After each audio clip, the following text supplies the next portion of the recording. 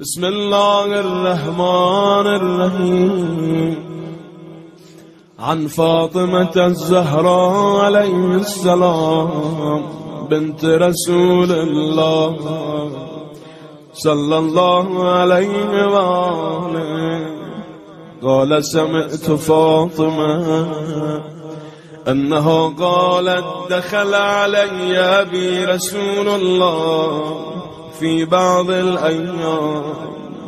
فقال السلام عليك يا فاطمة. فقلت عليك السلام. قال إني أجد في بدني ضعفا. فقلت له أعيذك بالله يا أبتا من الذوف فقال يا فاطمة ايتيني بالكساء اليماني فغطيني به.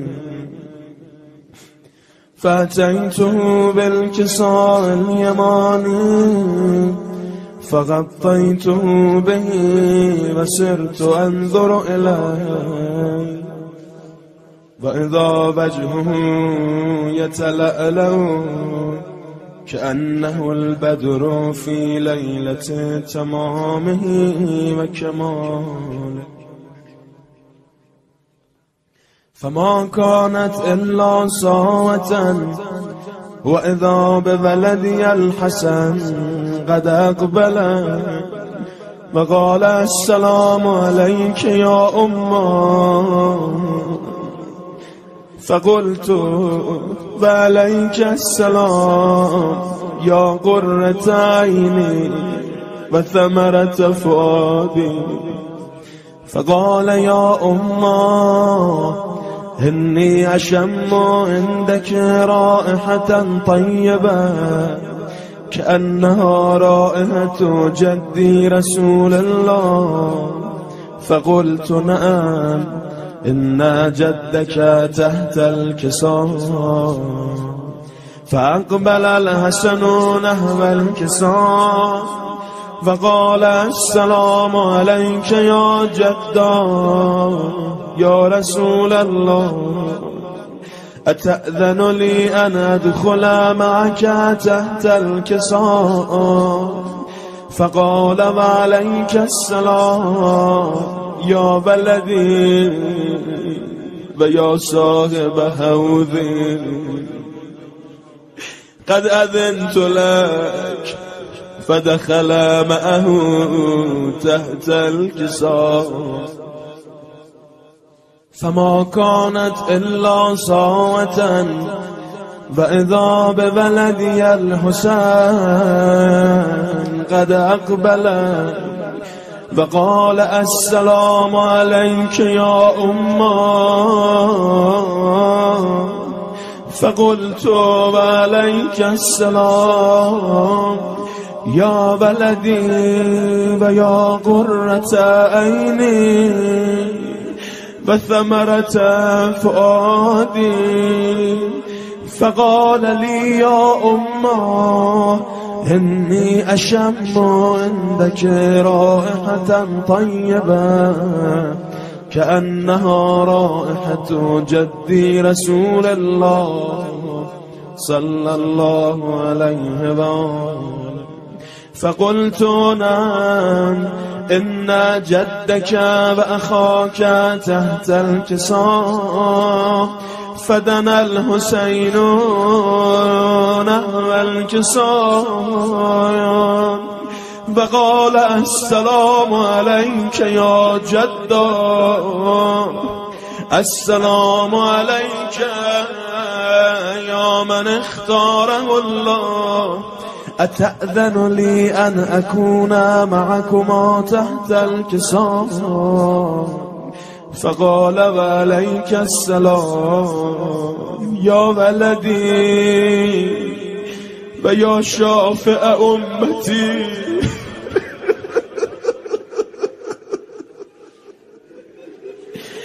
قد أذنت لك فدخل معهما تحت الكساء. عند ذلك أبو الحسن علي بن أبي طالب.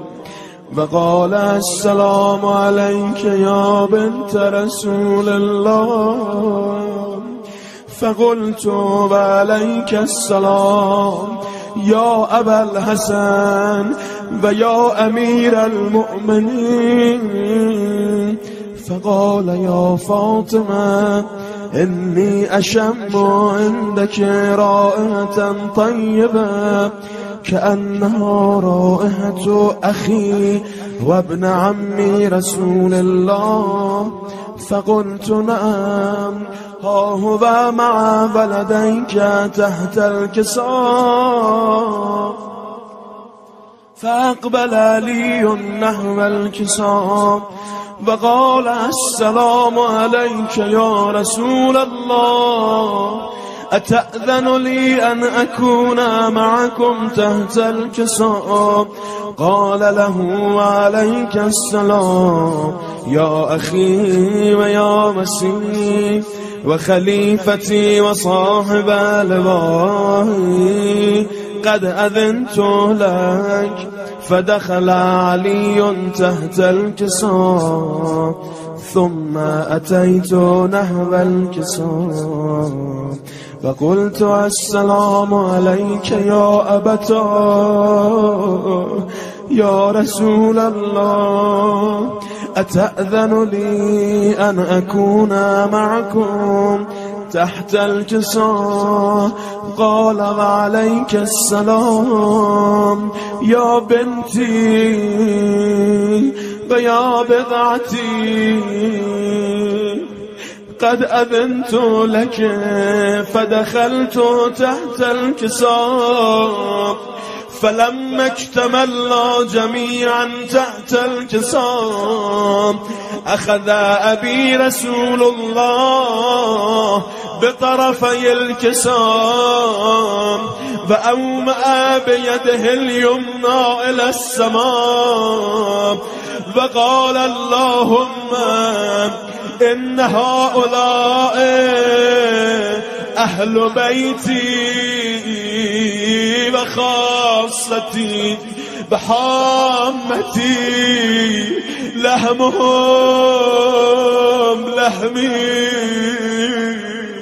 بدمهم دمي.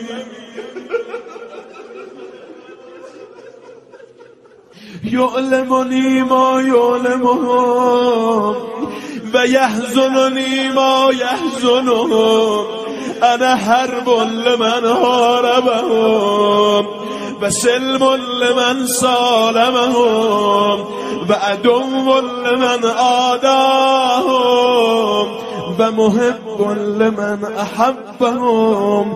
انهم منی و انا منهم. فاجعل صلواتك وبركاتك برحمتك وغفرانك ورضوانك علي وعليهم. فأذهب عنهم الرجس وطهرهم تطهيرا. فقال الله عز وجل يا ملائكتي و یا سکان سماواتی انی ما خلقت سماعا مبنیه. ولا أرضا مدحيا ولا قمرا منيرا ولا شمسا مضيئا ولا فلكا يدور ولا بحرا يجري ولا فلكا يسري. إلا في محبة هؤلاء الخمسة الذين هم تحت الجسام فقال الأمين جبرائيل يا رب بمن تحت الكساء؟ فقال عز وجل هم أهل بيت النبوة بمعدن الرسالة. هم فاطمة بأبوها. ببالها بنوها. فقال جبرائيل يا رب أتأذن لي أن أهبط إلى الأرض لأكون معهم سادسا فقال الله نعم قد أذنت لك. فهبط الأمين جبرائيل.